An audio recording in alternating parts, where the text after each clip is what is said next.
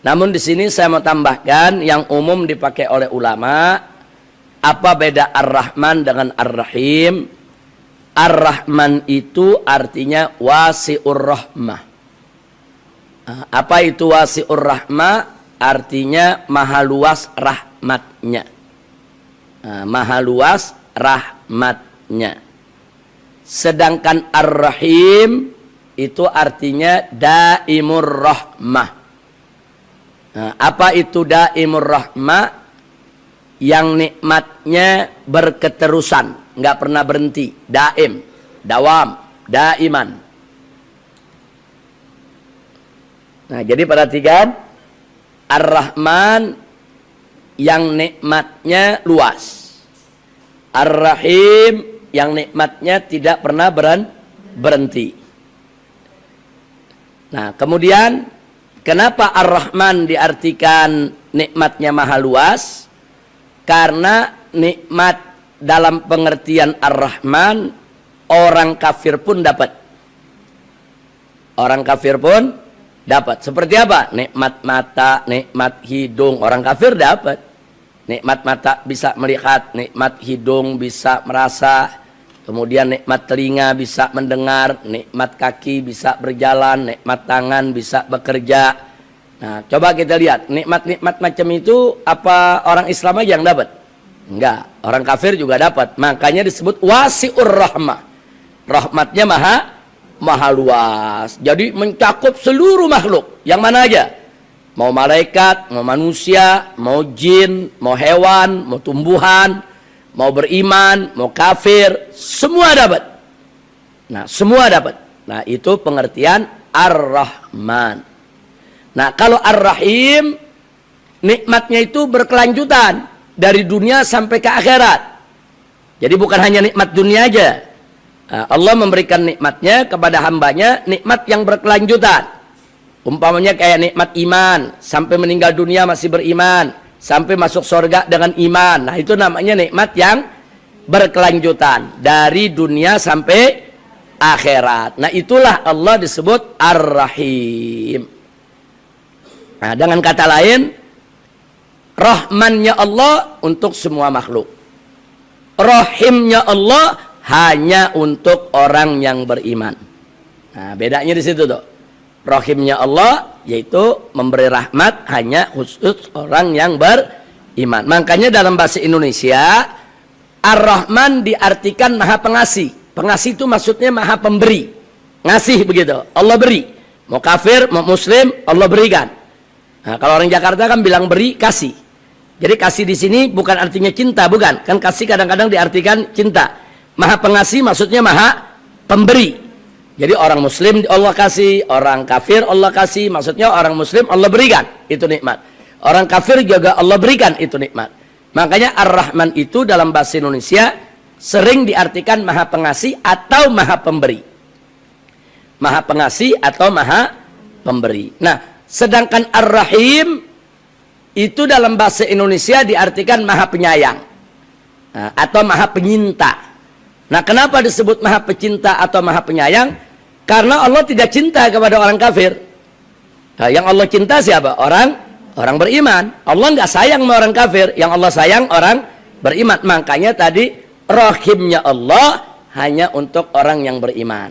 Makanya dalam bahasa Indonesia rahim sering diartikan maha pengasih, eh, maaf, maha penyayang atau maha penyin, penyinta. Yang paling sering kita dengarkan Bismillahirrahmanirrahim dengan nama Allah yang maha pengasih lagi maha penyayang. Maksudnya pengasih, maha pemberi. Allah beri. Siapa aja, mau muslim, mau kafir dikasih nikmat.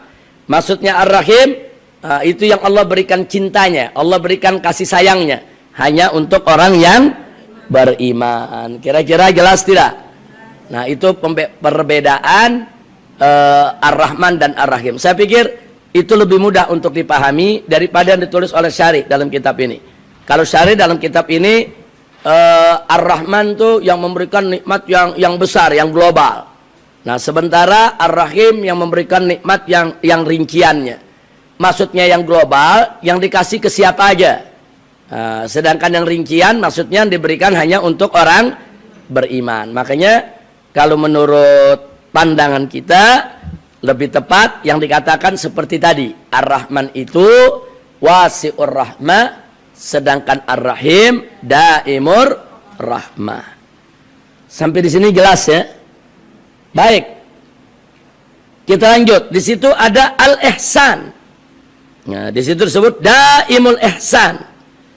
Daim kayak tadi, daim. Daim itu yang selalu, terus menerus, tidak pernah putus. Dawam, senantiasa.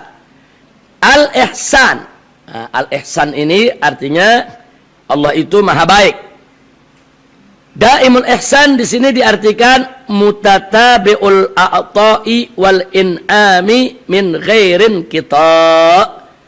Jadi Allah itu maha mampu untuk memberikan segala macam pemberian kepada siapa pun tanpa ada yang bisa memutusnya.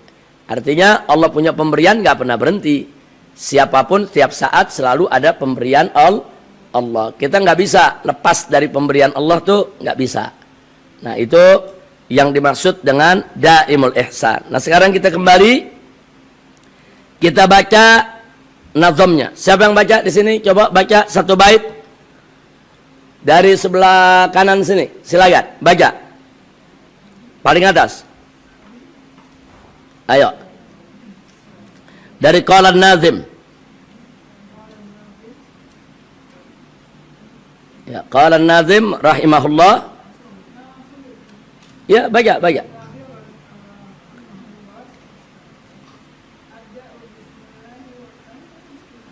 Ya. Abda'u bismillahi warrahmani wabirrahimi daimil ihsani. Baca.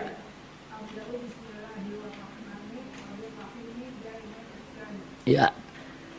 Jadi di sini kita lihat abda'u bismillah hi uh, kenapa hi bukan hu?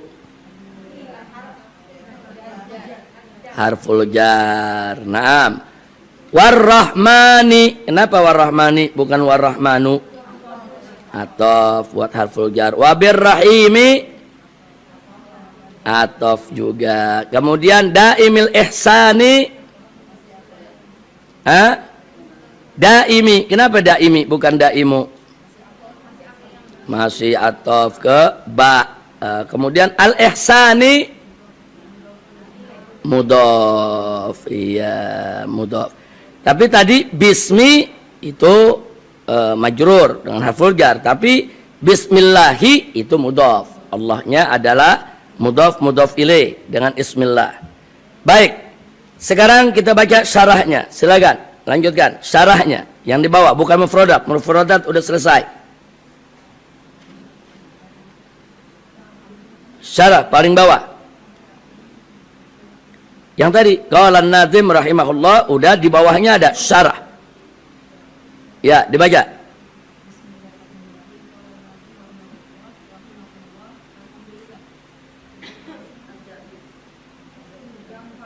Asyarah, enggak? Asyarah, bawah sekali, bawah sekali asyarah. Asyarah. Syarah.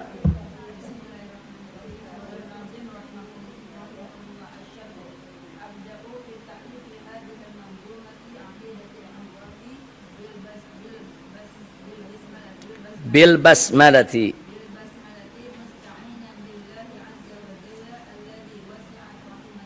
Rahmatuhu.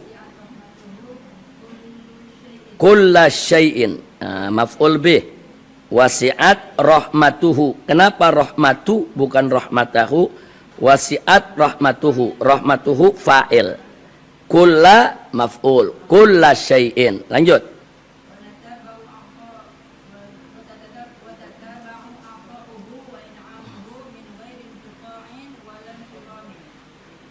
Nah.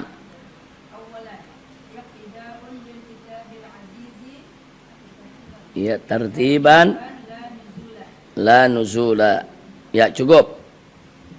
Jadi nazam yang tadi abda'u bismillahi warrahmani wa birrahimi daimil ihsani. Nah, di sini dijelaskan abda'u.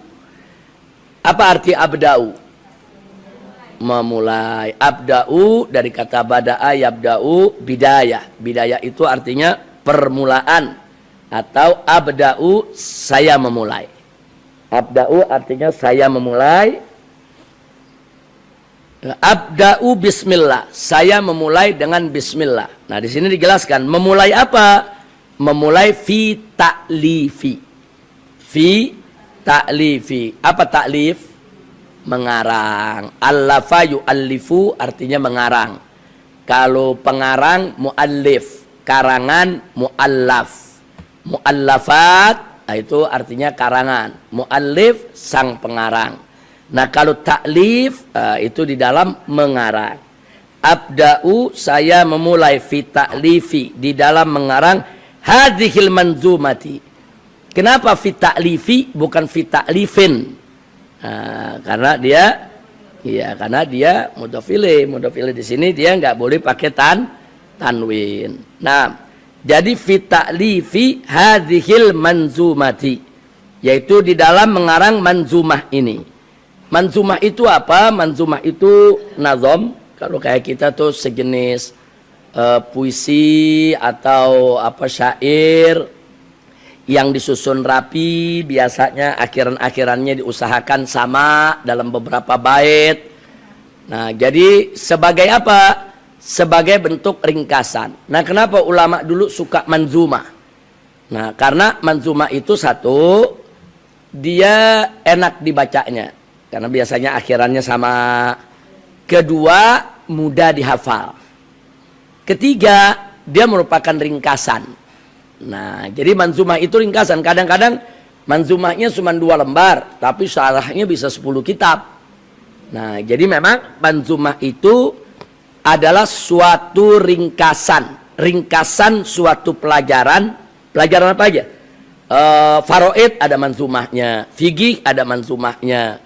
Nah, banyak pelajaran-pelajaran ada manzumah. Manzumah itu adalah ringkasan suatu pelajaran yang disusun dengan susunan seperti syair atau seperti pui, puisi. Itu